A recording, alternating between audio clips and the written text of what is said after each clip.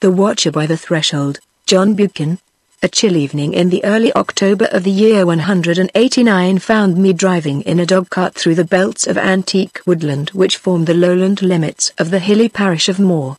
The Highland Express, which brought me from the north, took me no farther than Perth. Thence it had been a slow journey in a disjointed local train, till I emerged on the platform at Moorfoot, with a bleak prospect of pot stalks, coal heaps, certain sour corn lands, and far to the west the line of moor where the sun was setting. A neat groom and a respectable trap took the edge off my discomfort, and soon I had forgotten my sacrifice and found eyes for the darkening landscape.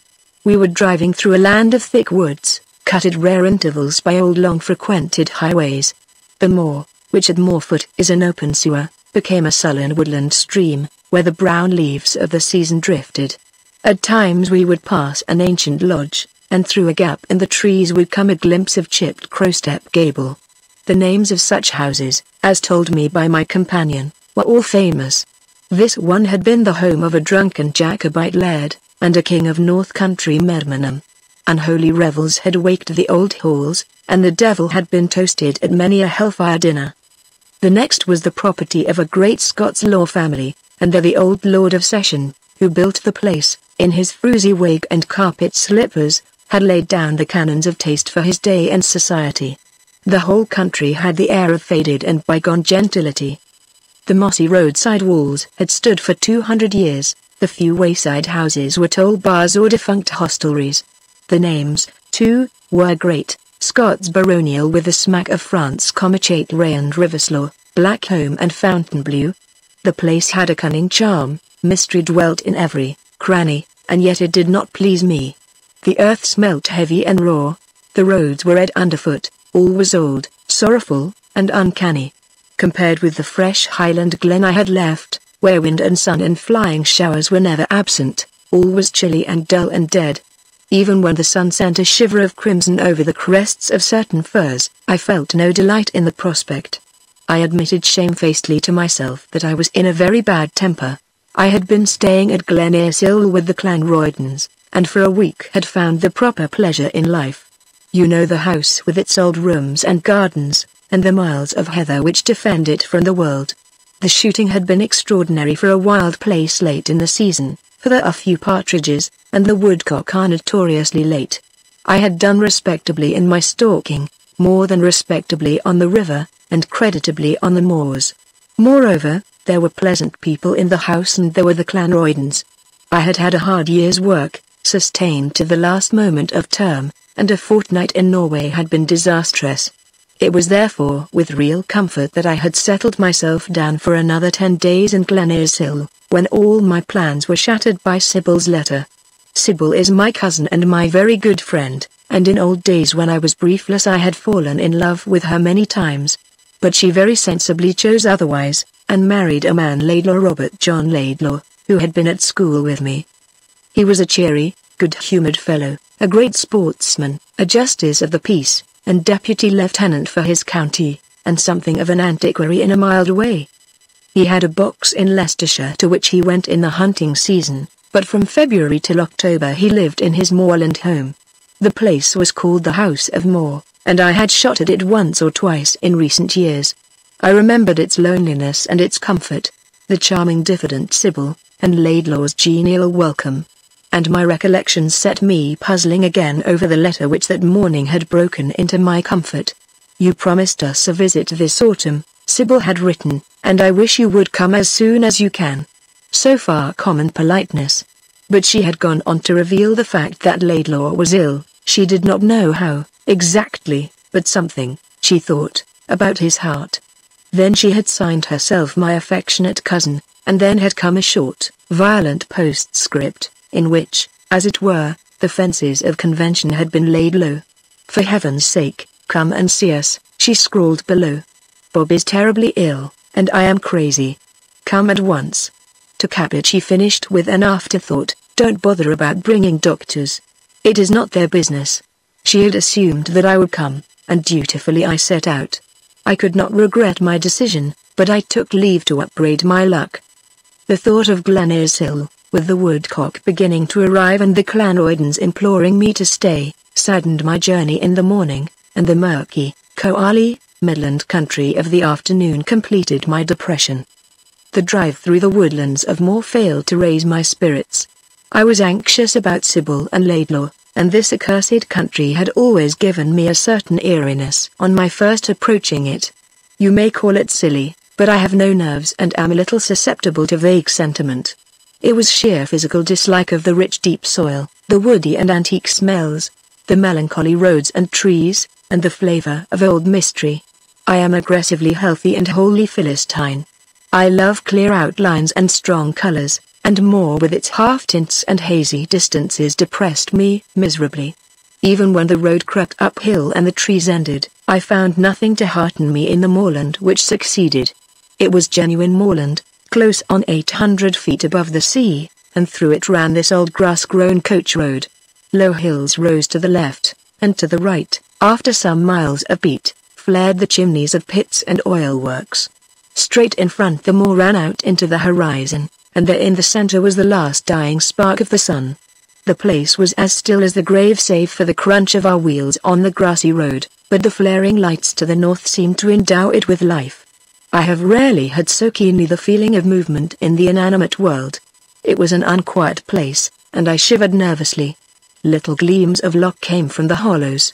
The burns were brown with peat, and every now and then there rose in the more jags of sickening red stone. I remembered that Laidlaw had talked about the place as the Old Manann, the holy land of the ancient races. I had paid little attention at the time, but now it struck me that the old peoples had been wise in their choice. There was something uncanny in this soil and air. Framed in dank mysterious woods and a country of coal and ironstone, at no great distance from the capital city, it was a sullen relic of a lost barbarism. Over the low hills lay a green pastoral country with bright streams and valleys, but here, in this peaty desert, there were few sheep and little cultivation. The house of Moor was the only dwelling, and, save for the ragged village, the wilderness was given over to the wild things of the hills. The shooting was good, but the best shooting on earth would not persuade me to make my abode in such a place. Laidlaw was ill, well, I did not wonder. You can have uplands without air, moors that are not health-giving, and a country life which is more arduous than a townsman's. I shivered again, for I seemed to have passed in a few hours from the open noon to a kind of dank twilight. We passed the village and entered the lodge gates. Here there were trees again little innocent new planted firs, which flourished ill. Some large plane trees grew near the house, and there were thickets upon thickets of the ugly elderberry. Even in the half-darkness I could see that the lawns were trim and the flower beds respectable for the season. Doubtless Sybil looked after the gardeners. The oblong whitewashed house, more like a barrack than ever, opened suddenly on my sight, and I experienced my first sense of comfort since I left Glen Glenaicill. Here I should find warmth and company, and sure enough, the hall door was wide open, and in the great flood of light which poured from it Sybil stood to welcome me. She ran down the steps as I dismounted, and, with a word to the groom, caught my arm and drew me into the shadow. Oh, Henry, it was so good of you to come. You mustn't let Bob think that you know he is ill. We don't talk about it. I'll tell you afterwards. I want you to cheer him up. Now we must go in, for he is in the hall expecting you. While I stood blinking in the light, Laidlaw came forward with outstretched hand and his usual cheery greeting. I looked at him and saw nothing unusual in his appearance, a little drawn at the lips, perhaps, and heavy below the eyes, but still fresh-colored and healthy. It was Sybil who showed change. She was very pale. Her pretty eyes were deplorably mournful, and in place of her delightful shyness there were the self-confidence and composure of pain. I was honestly shocked, and as I dressed my heart was full of hard thoughts about Laidlaw. What could his illness mean? He seemed well and cheerful, while Sybil was pale, and yet it was Sybil who had written the postscript. As I warmed myself by the fire, I resolved that this particular family difficulty was my proper business. The Laidlaws were waiting for me in the drawing room. I noticed something new and strange in Sybil's demeanor. She looked to her husband with a motherly, protective air, while Laidlaw, who had been the extreme of masculine independence, seemed to cling to his wife with a curious appealing fidelity. In conversation he did little more than echo her words. Till dinner was announced he spoke of the weather, the shooting, and Mabel Clanroyden. Then he did a queer thing, for when I was about to offer my arm to Sybil he forestalled me, and clutching her right arm with his left hand led the way to the dining room, leaving me to follow in some bewilderment. I have rarely taken part in a more dismal meal. The House of Moore has a pretty Georgian paneling through most of the rooms, but in the dining room the walls are level and painted a dull stone color. Abraham offered up Isaac in a ghastly picture in front of me, some photographs of the Quorn hung over the mantelpiece, and five or six drab ancestors filled up the remaining space. But one thing was new and startling. A great marble bust, a genuine antique, frowned on me from a pedestal. The head was in the late Roman style, clearly of some emperor, and in its commonplace environment the great brows, the massive neck, and the mysterious solemn lips had a surprising effect. I nodded toward the thing, and asked what it represented. Laidlaw grunted something which I took for Justinian, but he never raised his eyes from his plate. By accident I caught Sybil's glance. She looked toward the bust, and laid a finger on her lips. The meal grew more doleful as it advanced. Sybil scarcely touched a dish, but her husband ate ravenously of everything. He was a strong, thick-set man, with a square kindly face burned brown by the sun. Now he seemed to have suddenly coarsened. He gobbled with undignified haste, and his eye was extraordinarily vacant. A question made him start, and he would turn on me a face so strange and inert that I repented the interruption. I asked him about the autumn's sport. He collected his wits with difficulty. He thought it had been good, on the whole, but he had shot badly. He had not been quite so fit as usual. No, he had had nobody staying with him. Sybil had wanted to be alone. He was afraid the moor might have been undershot, but he would make a big day with keepers and farmers before the winter. Bob has done pretty well, Sybil said. He hasn't been out often, for the weather has been very bad here. You can have no idea, Henry, how horrible this moorland place of ours can be when it dries. It is one great sponge sometimes, with ugly red burns and mud to the ankles. I don't think it's healthy, said I. Laidlaw lifted his face. Nor do I. I think it's intolerable, but I am so busy I can't get away. Once again I caught Sybil's warning eye as I was about to question him on his business. Clearly the man's brain had received a shock, and he was beginning to suffer from hallucinations. This could be the only explanation, for he had always led a temperate life. The distray, wandering manner was the only sign of his malady, for otherwise he seemed normal and mediocre as ever. My heart grieved for Sybil, alone with him in this wilderness. Then he broke the silence. He lifted his head and looked nervously around till his eye fell on the Roman bust. Do you know that this countryside is the old Manann? He said. It was an odd turn to the conversation, but I was glad of a sign of intelligence. I answered that I had heard so. It's a queer name. He said oracularly, but the thing it stood for was queerer, Manann, Manann, he repeated, rolling the words on his tongue. As he spoke, he glanced sharply, and, as it seemed to me, fearfully, at his left side. The movement of his body made his napkin slip from his left knee and fall on the floor. It leaned against his leg, and he started from its touch as if he had been bitten by a snake. I have never seen a more sheer and transparent terror on a man's face. He got to his feet, his strong frame shaking like a rush. Sybil ran round to his side, picked up the napkin and flung it on a sideboard. Then she stroked his hair as one would stroke a frightened horse. She called him by his old boy's name of Robin, and at her touch and voice he became quiet. But the particular cause then in progress was removed, untasted. In a few minutes he seemed to have forgotten his behavior, for he took up the former conversation. For a time he spoke well and briskly. You lawyers, he said, understand only the dry framework of the past. You cannot conceive the rapture, which only the antiquary can feel, of constructing in every detail an old culture. Take this Manann. If I could explore the secret of these moors, I would write the world's greatest book. I would write of that prehistoric life when man was knit close to nature. I would describe the people who were brothers of the red earth and the red rock and the red streams of the hills. Oh, it would be horrible, but superb, tremendous. It would be more than a piece of history, it would be a new gospel, a new theory of life. It would kill materialism once and for all. Why, man, All the poets who have deified and personified nature would not do an eighth part of my work. I would show you the unknown, the hideous, shrieking mystery at the back of this simple nature. Men would see the profundity of the old crude faiths which they affect to despise. I would make a picture of our shaggy, sombre-eyed forefather, who heard strange things in the hill silences. I would show him brutal and terror-stricken, but wise, wise, God alone knows how wise. The Romans knew it, and they learned what they could from him, though he did not tell them much. But we have some of his blood in us, and we may go deeper. Manann. A queer land nowadays. I sometimes love it and sometimes hate it, but I always fear it. It is like that statue, inscrutable. I would have told him that he was talking mystical nonsense, but I had looked toward the bust, and my rudeness was checked on my lips. The moor might be a common piece of ugly wasteland, but the statue was inscrutable, comma of that there was no doubt. I hate your cruel heavy-mouthed Roman busts, to me they have none of the beauty of life, and little of the interest of art. But my eyes were fastened on this as they had never before looked on marble. The oppression of the heavy woodlands, the mystery of the silent moor, seemed to be caught and held in this face.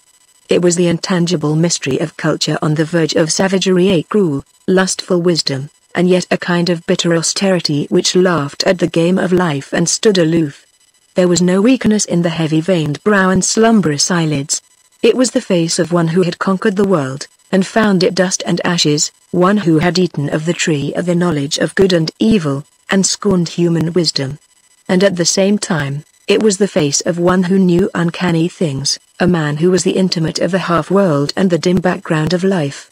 Why on earth I should connect the Roman grandee, with the moorland parish of Moor I cannot say, but the fact remains that there was that in the face which I knew had haunted me through the woodlands and bogs of the place a sleepless, dismal, incoherent melancholy. I have identified the bust, which, when seen under other circumstances, had little power to affect me. It was a copy of the head of Justinian in the Tesi Museum at Venice, and several duplicates exist dating apparently from the 7th century, and showing traces of Byzantine decadence in the scroll work on the hair. It is engraved in M. Delacroix's Byzantium, and, I think, in Windscheid's Pandectenhage. I bought that at Colnzo's, Laidlaw said, because it took my fancy. It matches well with this place. I thought it matched very ill with his drab walls and Quorn photographs, but I held my peace. Do you know who it is? He asked. It is the head of the greatest man the world has ever seen. You are a lawyer and know your Justinian. The Pandects are scarcely part of the daily work of a common law barrister. I had not looked into them since I left college. I know that he married an actress, I said, and was a sort of all-round genius. He made law, and fought battles, and had rose with the church. A curious man. And wasn't there some story about his selling his soul to the devil, and getting law in exchange? Rather a poor bargain, I chatted away, sillily enough, to dispel the gloom of that dinner table. The result of my words was unhappy. Laidlaw gasped and caught at his left side, as if in pain. Sybil, with tragic eyes, had been making signs to me to hold my peace. Now she ran round to her husband's side and comforted him like a child. As she passed me, she managed to whisper in my ear to talk to her only, and let her husband alone. For the rest of dinner I obeyed my orders to the letter. Laidlaw ate his food in gloomy silence, while I spoke to Sybil of our relatives and friends, of London, Glenaicill, and any random subject. The poor girl was dismally forgetful, and her eye would wander to her husband with wifely anxiety. I remember being suddenly overcome by the comic aspect of it all. Here were we three fools alone in the dank upland, one of us sick and nervous, talking out of the way nonsense about Manann and Justinian, gobbling his food and getting scared at his napkin, another gravely anxious, and myself at my wits' end for a solution. It was a mad tea party with a vengeance, Sybil the melancholy little dormouse, and Laidlaw the incomprehensible hatter. I laughed aloud, but checked myself when I caught my cousin's eye. It was really no case for finding humour. Laidlaw was very ill, and Sybil's face was getting deplorably thin. I welcomed the end of that meal with unmannerly joy, for I wanted to speak seriously with my host. Sybil told the butler to have the lamps lighted in the library. Then she leaned over toward me and spoke low and rapidly. I want you to talk with Bob. I'm sure you can do him good. You'll have to be very patient with him, and very gentle. Oh, please try to find out what is wrong with him. He won't tell me, and I can only guess. The butler returned with word that the library was ready to receive us, and Sybil rose to go. Laidlaw half rose, protesting, making the most curious feeble clutches to his side. His wife quieted him. Henry will look after you, dear, she said. You are going into the library to smoke. Then she slipped from the room, and we were left alone. He caught my arm fiercely with his left hand, and his grip nearly made me cry out. As we walked down the hall, I could feel his arm twitching from the elbow to the shoulder. Clearly he was in pain, and I set it down to some form of cardiac affection, which might possibly issue in paralysis. I settled him in the biggest armchair, and took one of his cigars. The library is the pleasantest room in the house, and at night, when a peat fire burned on the old hearth and the great red curtains were drawn, it used to be the place for comfort and good talk. Now I noticed changes. Laidlaw's bookshelves had been filled with the proceedings of antiquarian societies and many light-hearted works on sport. But now the badminton library had been cleared out of a shelf where it stood most convenient to the hand, and its place taken by an old Leyden reprint of Justinian. There were books on Byzantine subjects of which I never dreamed he had heard the names, there were volumes of history and speculation, all of a slightly bizarre kind, and to crown everything, there were several bulky medical works with gaudily colored plates. The old atmosphere of sport and travel had gone from the room with the medley of rods, whips, and gun cases which used to cumber the tables, now the place was moderately tidy and somewhat learned, and I did not like it. Laidlaw refused to smoke, and sat for a little while in silence. Then of his own accord he broke the tension. It was devilish good of you to come, Harry. This is a lonely place for a man who is a bit seedy. I thought you might be alone, I said, so I looked you up on my way down from Glenaicill. I'm sorry to find you feeling ill. Do you notice it?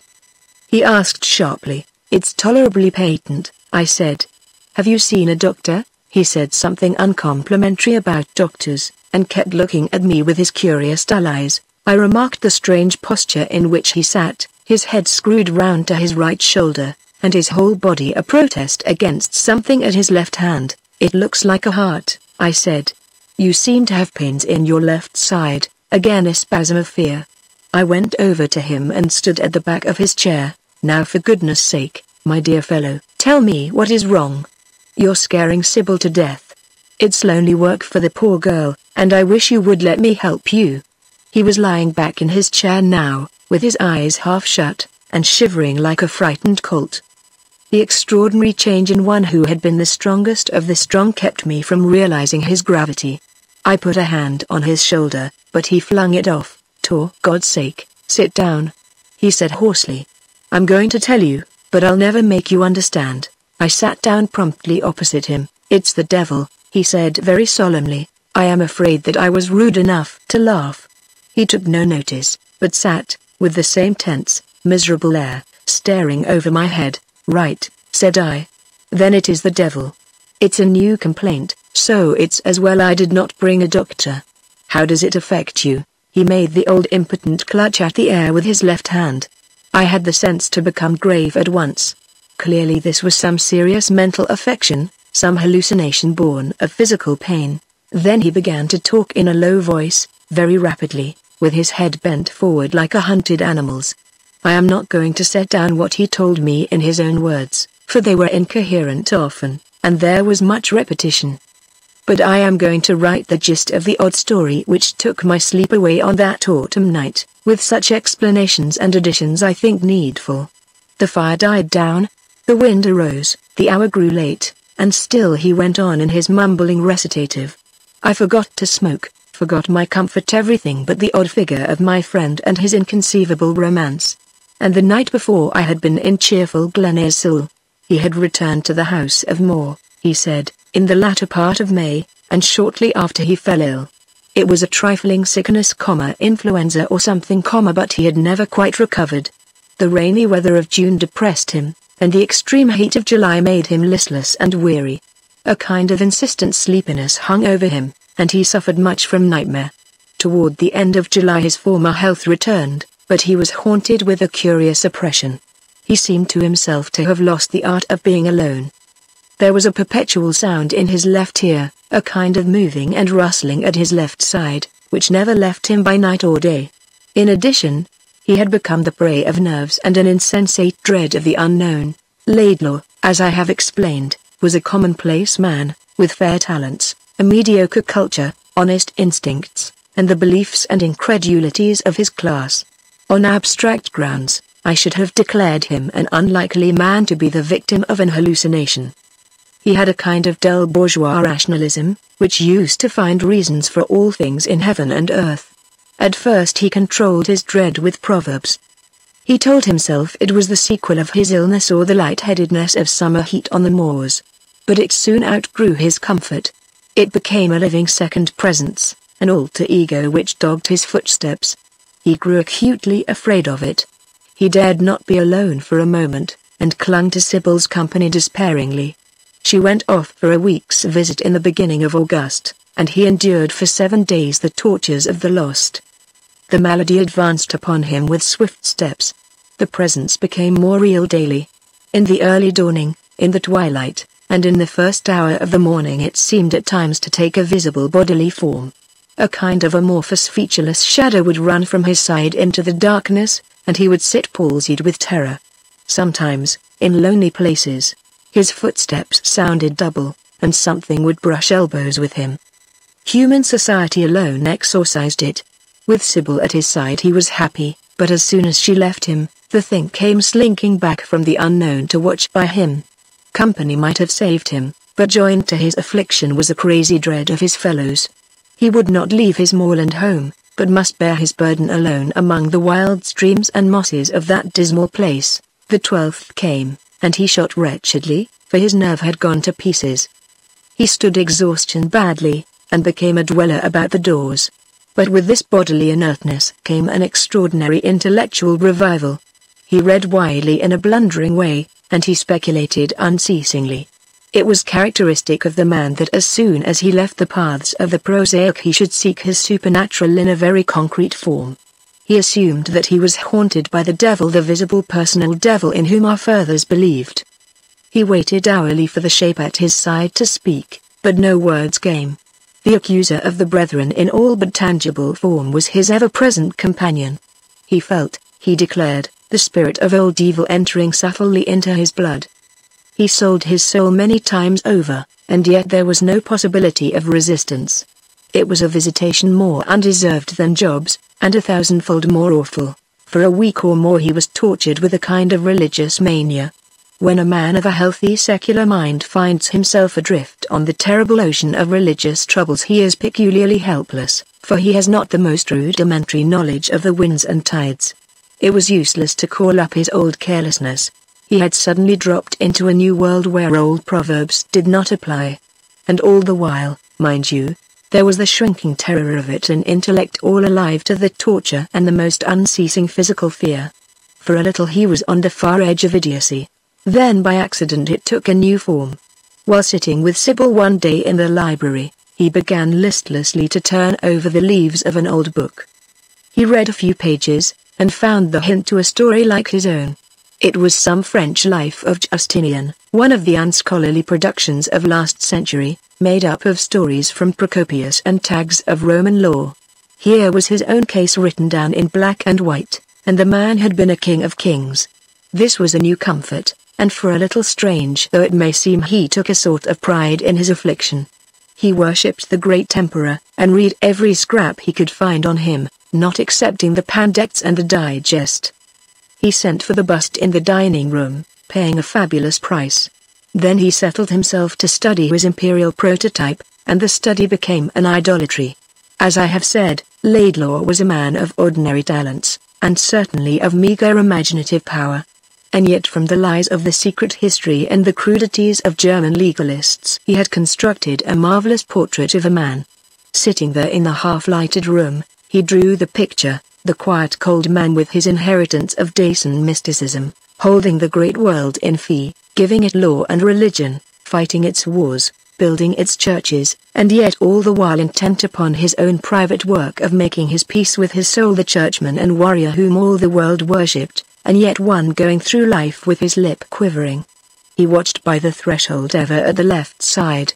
Sometimes at night, in the great brazen palace, warders heard the emperor walking in the dark corridors, alone, and yet not alone, for once, when a servant entered with a lamp, he saw his master with a face as of another world, and something beside him which had no face or shape, but which he knew to be that hoary evil which is older than the stars. Crazy nonsense. I had to rub my eyes to assure myself that I was not sleeping. No. There was my friend with his suffering face, and it was the library of Moor. And then he spoke of Theodora, actress, harlot, devote, empress. For him the lady was but another part of the uttermost horror, a form of the shapeless thing at his side. I felt myself falling under the fascination. I have no nerves and little imagination, but in a flash I seemed to realize something of that awful featureless face, crouching ever at a man's hand, till darkness and loneliness come, and it rises to its mastery. I shivered as I looked at the man in the chair before me. These dull eyes of his were looking upon things I could not see, and I saw their terror. I realized that it was grim earnest for him.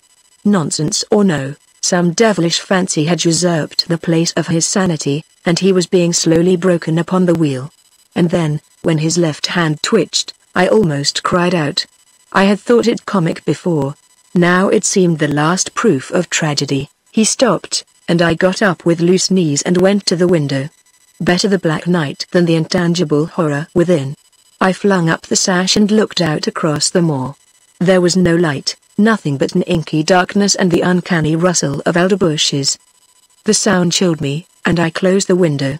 The land is the old Manann, Laidlaw was saying. We are beyond the pale here. Do you hear the wind? I forced myself back into sanity and looked at my watch. It was nearly one o'clock. What ghastly idiots we are. I said. I am off to bed. Laidlaw looked at me helplessly. For God's sake, don't leave me alone. He moaned. Get Sybil. We went together back to the hall, while he kept the same feverish grasp on my arm.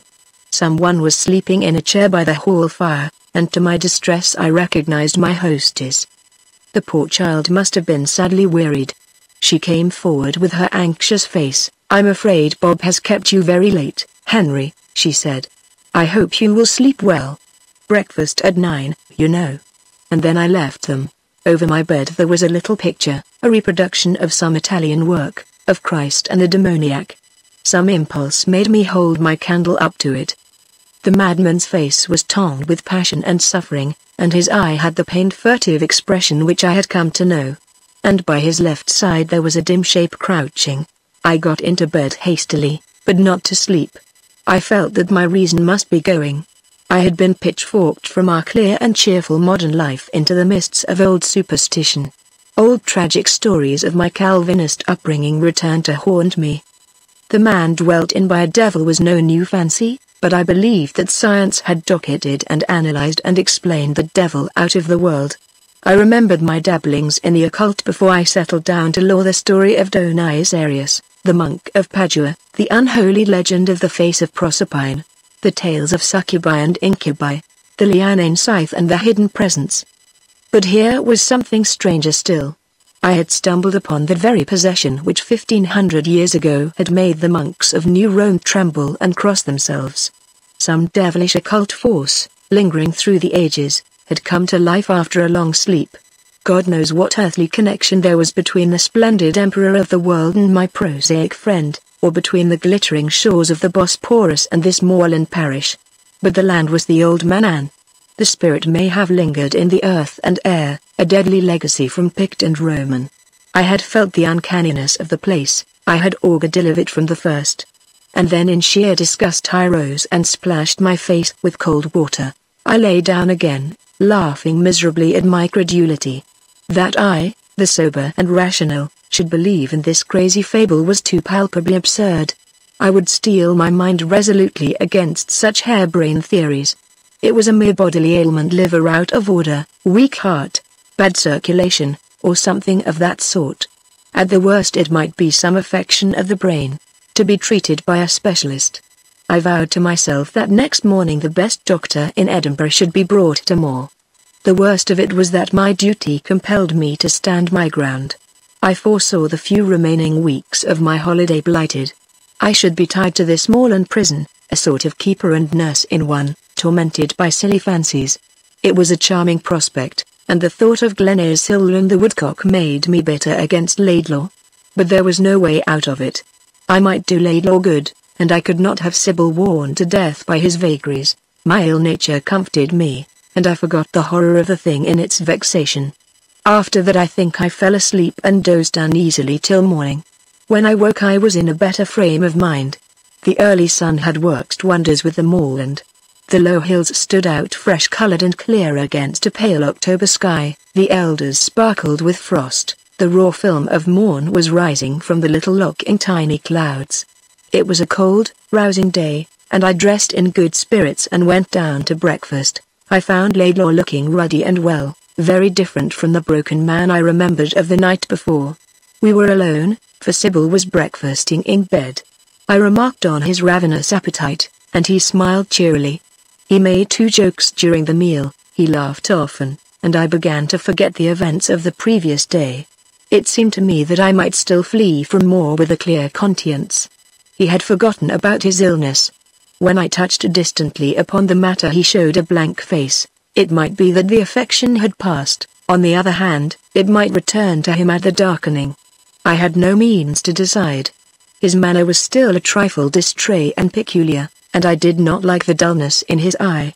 At any rate, I should spend the day in his company, and the evening would decide the question. I proposed shooting, which he promptly vetoed. He was no good at walking, he said, and the birds were wild. This seriously limited the possible occupations. Fishing there was none, and hill climbing was out of the question. He proposed a game at billiards, and I pointed to the glory of the morning.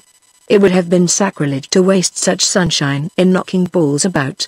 Finally we agreed to drive somewhere and have lunch, and he ordered the dog cart. In spite of all forebodings I enjoyed the day. We drove in the opposite direction from the woodland parts, right away across the moor to the coal country beyond. We lunched at the little mining town of Boroughmuir, in a small and noisy public house. The roads made bad going. The country was far from pretty, and yet the drive did not bore me. Laidlaw talked incessantly talked as I had never heard man talk before. There was something indescribable in all he said, a different point of view, a lost groove of thought, a kind of innocence and archaic shrewdness in one. I can only give you a hint of it, by saying that it was like the mind of an early ancestor placed suddenly among modern surroundings. It was wise with a remote wisdom, and silly, now and then, with a quite antique and distant silliness. I will give instances of both. He provided me with a theory of certain early fortifications, which must be true, which commends itself to the mind with overwhelming conviction, and yet which is so out of the way of common speculation that no man could have guessed it. I do not propose to set down the details, for I am working at it on my own account.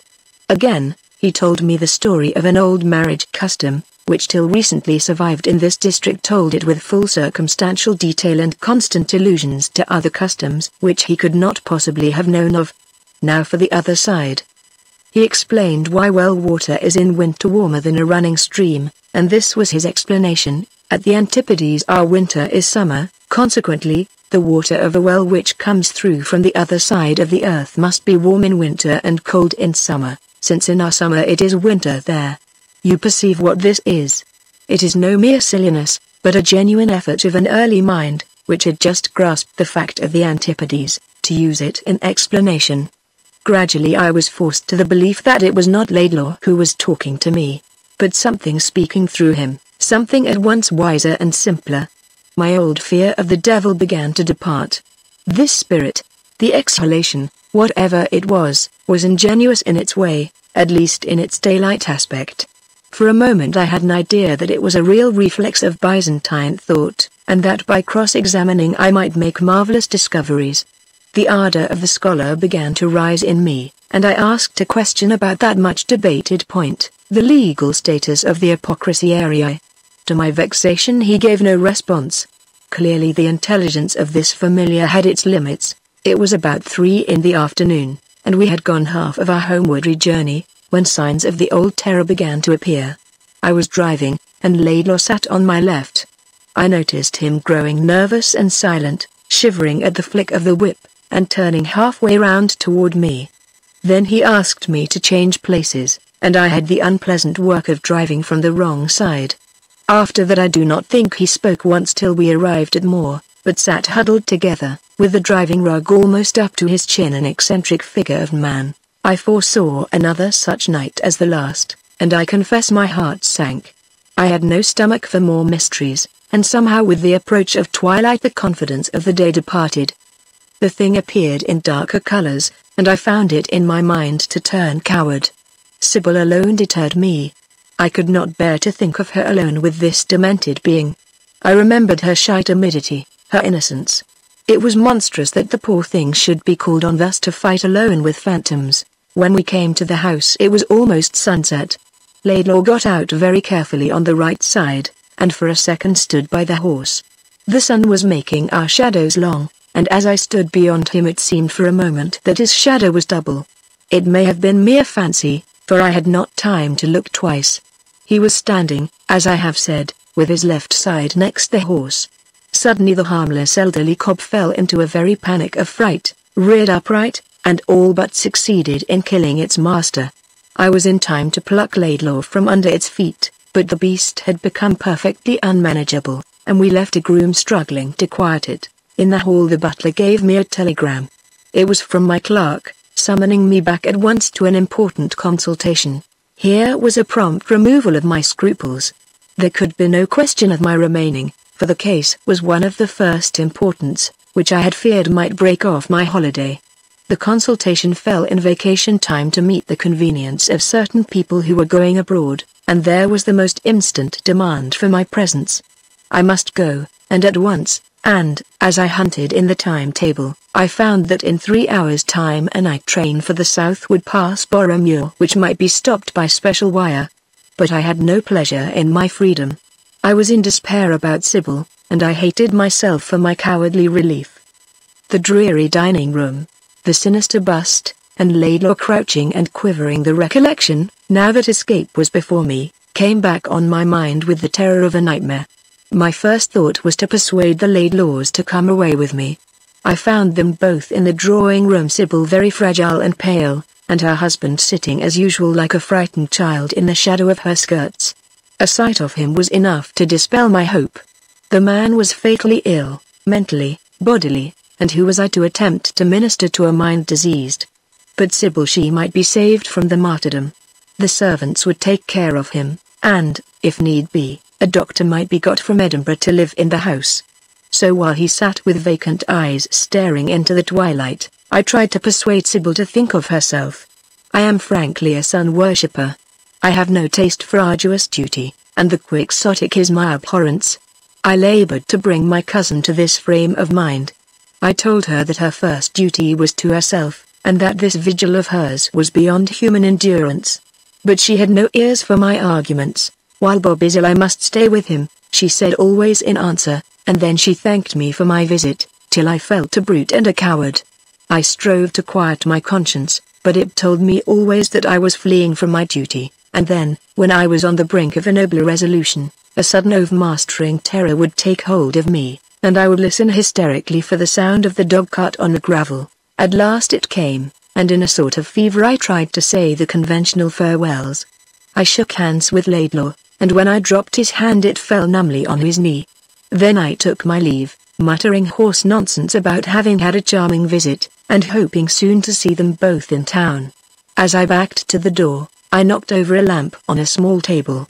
It crashed on the floor and went out, and at the sound Laidlaw gave a curious childish cry. I turned like a coward, and ran across the hall to the front door, and scrambled into the dog cart. The groom would have driven me sedately through the park, but I must have speed or go mad. I took the reins from him and put the horse into a canter. We swung through the gates and out into the moor road, for I could have no peace till the ghoulish elder world was exchanged for the homely ugliness of civilization. Once only I looked back, and there against the skyline, with a solitary lit window, the house of Moor stood lonely in the red desert.